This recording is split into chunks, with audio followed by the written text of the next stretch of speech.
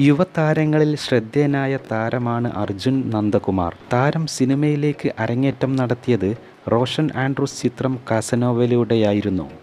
ശേഷം Grand Master The Dolphins Shylock മറുപടി radio jockey തുടങ്ങി നിരവധി സിനിമകളിൽ താരം അഭിനയിച്ചിട്ടുണ്ട്.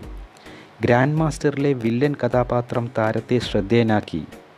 താരം വിവാഹിതനായി എന്ന വാർത്തയാണ് ഇപ്പോൾ പുറത്തുവരുന്നത്.